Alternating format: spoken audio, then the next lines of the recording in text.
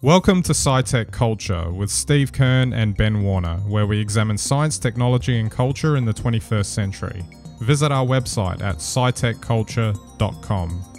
Hello and welcome to SciTech Culture. My name is Ben Warner and I'm joined by my good friend and colleague Steve Kern to talk about virtual uh, teams and working in virtual environments, which, funny enough, we happen to be doing right now as we speak. How do you find that, Steve?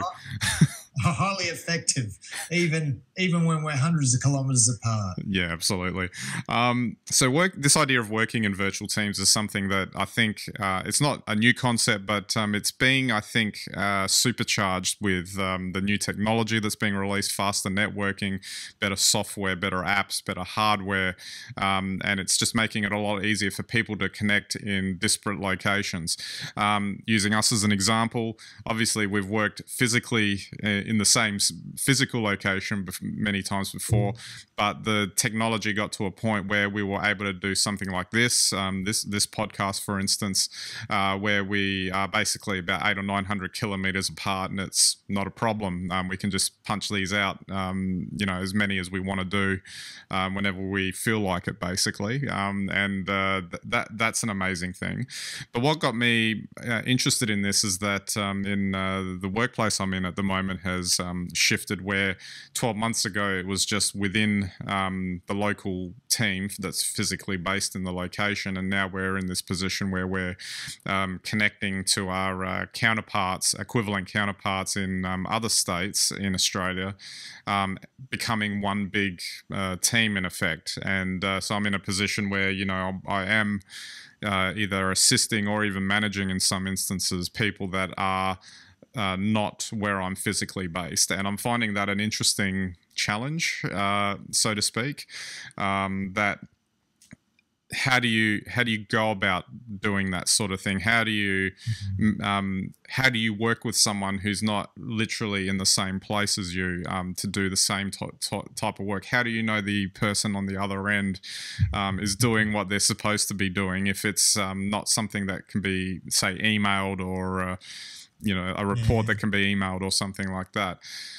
Um, it this was the wonderful thing. You can't reach out and kick someone uh, if, if they're not doing what they promised. Or it might be best for everyone if you don't get along. Who knows? But um, but um, it seems to me that, uh, and this is something that we did before, well, not before, but um, as this uh, new structure took place for us, that um, uh, our overall um, uh, management in um, in Canberra, which is where it's the main the main mothership is, so to speak, basically had the idea of getting all of us together in the one place for a trip to Canberra for two days for us to meet physically face to face.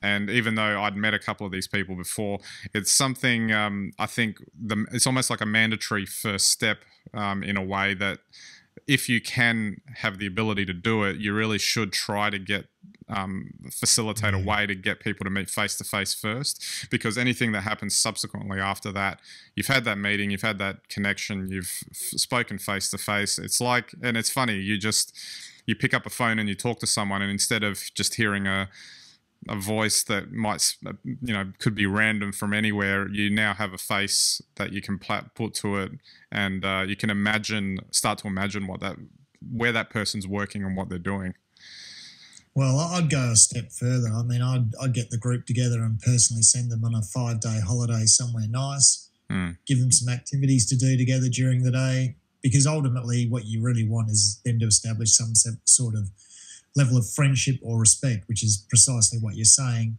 It's a bit hard when you go for two days and you're sort of in an office and, you know, all a bit dull, really, because I yeah. think that that's really the key to it is having a good rapport with the other people that you have uh, on the team.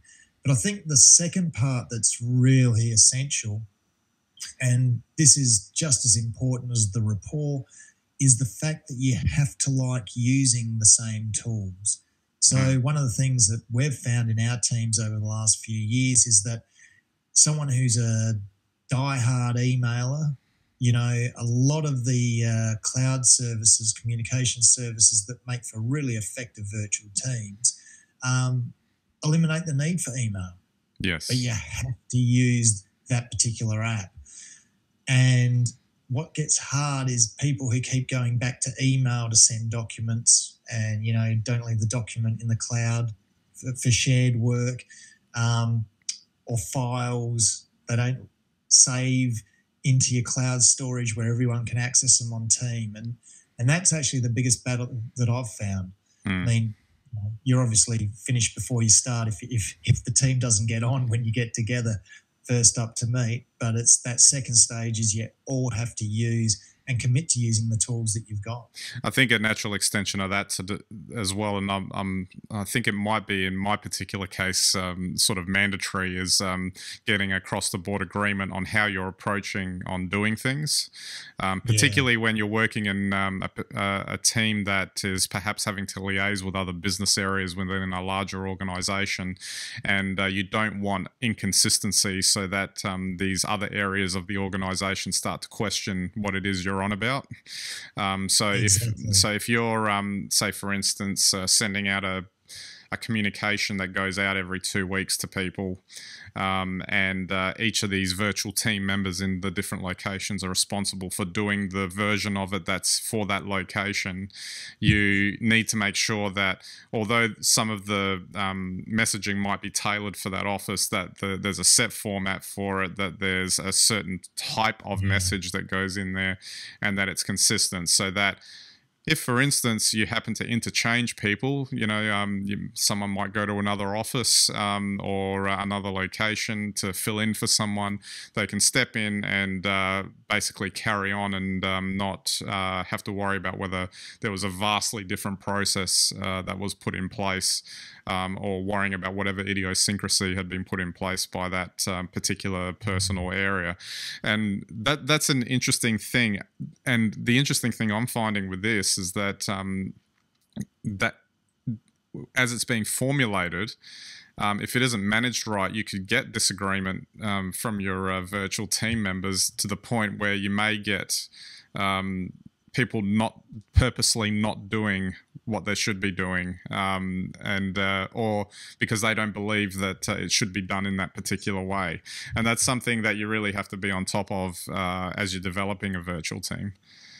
Well, yeah, absolutely, you have you have to get agreement on every level uh, about the way that you want to proceed, and you've certainly hit the uh, major points there. Just an interesting aside, we were talking before about um, uh, e games such as League of Legends and the other very popular games. That's an interesting sort of extension of teamwork. Maybe they should build more socializing into some of the work related uh, team apps that they have because very quickly um, those teams, even though they're quite often remote, um, mm. they learn to work together very quickly because they have a common goal in the game. And, and if yeah. they don't, then uh, they, they will fail.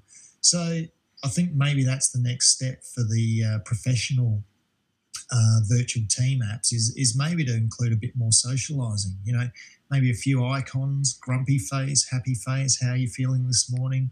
you know, maybe you can get some, you know, virtual coffee credits, which you can go and cash in downstairs at the cafe. I'm not sure. that certainly would uh, help morale, wouldn't it? You know, if you know exactly if you if you're using uh, your uh, cloud-based work manager properly, then you know you get extra points, extra bonuses. You yeah. know, uh, I don't know. I, I think you know, it, at the moment, I think the one thing that's lacking from virtual team. Um, is the greater concept of of that virtualness. So yeah. it's hard enough in real life, as we know, to lead a team on a project, particularly if it's a complicated project with lots of different stages. Virtualization, as we pointed out, adds an extra layer of complexity to that. Yeah. Um, that is due to the virtual reality that sits around it, even though it's not necessarily a game. Hmm. So creating incentives, especially social incentives, I think uh, might be a, a, nice way to go. So, to all those guys out there developing those apps, here's your chance. yeah, absolutely, absolutely. Um, I just wanted to um, round this off. Um, with the technology itself, a discussion about that because it's actually quite amazing what's what's happened.